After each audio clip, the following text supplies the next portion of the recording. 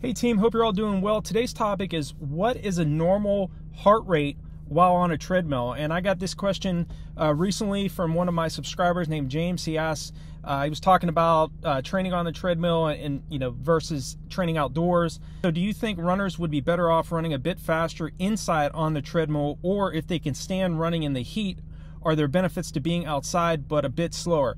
Yes, definitely. You want to always focus on training outdoors rather than indoors but sometimes you just got to get on the treadmill, okay? If it's icy outside and it's dangerous, if it's extremely hot, if it's like over 110 degrees out or over 100 degrees out and you have a tempo run or a tread or a, a, a track session that you had scheduled and you're really trying to hit some legitimate splits on you know on that on the track or on the roads and it's just too hot out it's always best to be smarter about your training and to get indoors and to get a solid workout in but in terms of heart rate, a lot of athletes, including myself over the years when I was earlier in my career, we get really hyped up and really too, too focused at times on heart rate. Okay, it is important to use a heart rate monitor, uh, but to get a gauge of where you're where you're training. But heart rate is always going to be affected by various factors. Okay, if it's hot out, heart rate is drastically going to be changed. So your your pace has to be drastically slower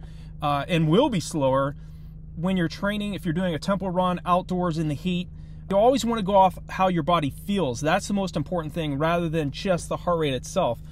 A good way, uh, and there's multiple ways of getting uh, a maximum heart rate, but the, a, a, good guesstimate of getting uh, an idea of what your max heart rate is is, is subtracting your age from 220.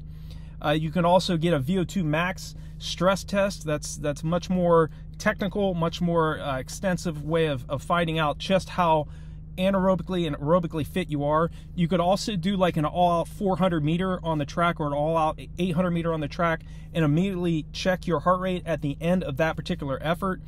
So, but when you're running indoors, at least with the American Heart Association, they recommend staying between like 50 to 70% of your maximum heart rate when you're running at a moderate intensity indoors.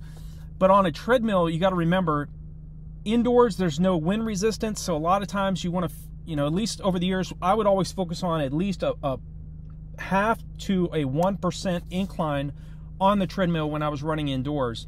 If you're 40 you want to keep your heart rate between 90 to 126 beats per minute if you're staying between 50 to 70% of your maximum heart rate. So again heart rate especially if you're training over hills or if you are uh, running in very hot conditions heart rate will drastically change, okay? If you're running uphill, it's natural for the, the heart rate to go way up. Okay, if you're running downhill, it's gonna drop. So when you're running over, you know, hilly terrains, you don't really, if you're running over hilly terrain, you don't want to start running much faster going downhill just to, to maintain that heart rate you were you were running on the flat. It's naturally going to go much lower when you're going downhill, and it's going to go naturally go much higher as you're going uphill. Um, of course, you definitely want to also train at VO2 max rate, so anywhere from 95 to 100% of your maximum heart rate.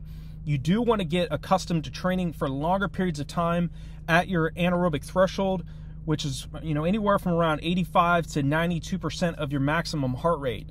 The best middle to long distance runners are great runners for a reason. They're spending more time each week, around 40% of their weekly volume running around their lactate threshold, their anaerobic threshold uh, capability. So they make it look easy for a reason. It's not just because they're Kenyan or American or Ethiopian or other top runners from around the world. It's because they're running more of their weekly volume at a higher intensity than you are. Okay? Yes, they are, they may have some genetic talent, but I've known plenty of runners over the years who didn't have a lot of genetic talent that still ran world class times, national class times, because they had that desire and drive and commitment to their particular race and they were willing to focus on preparing for that event for a long enough period of time. There's not a lot of people that really want to train hard for for track races and road races for a decade or more. Okay? Other people there's people naturally have other things in their lives and you just because you're going to school full time or you're you have family responsibilities you have to decide yourself how badly you want success. And I'm not just talking about running, I'm talking about anything in your life, okay? You have a choice. It's either be be average, be good, or be great. And greatness is not fun. Greatness, the the the, the path to greatness takes an immense amount of work. Okay. As far as a runner, you know, I, I didn't have a great deal of talent, but I trained from 1992 until 2018 when I retired from elite level running. It took several years to get to a point where I could uh, compete close to the elite level, right at the elite level. And and so again, you have to decide how badly you want to prepare for your races and how badly you want success.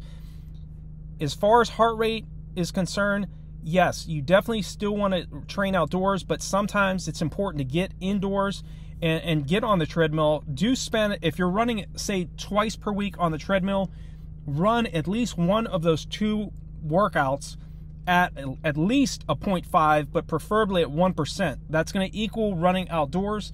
It's going to also equal out the lack of wind resistance that, that we have running indoors on a treadmill.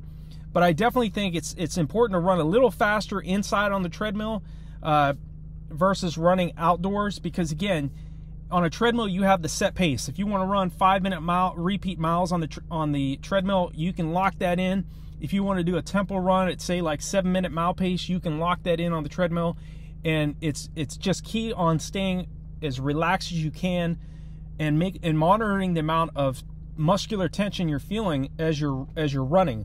It's very easy to stay relaxed when you're running at slower paces, but it's really an art form to run at very high intensities and to consciously tell yourself to relax your shoulders, you know, as we as middle to long distance runners, once lactic acid rises, obviously the body needs much more oxygen capability that requires much more oxygen the faster we run uh, due to ATP, adenosine triphosphate. So it's very important to continually practice uh, maintaining your your confidence and maintaining your your ability to stay as relaxed as you can when you're running, especially at faster paces.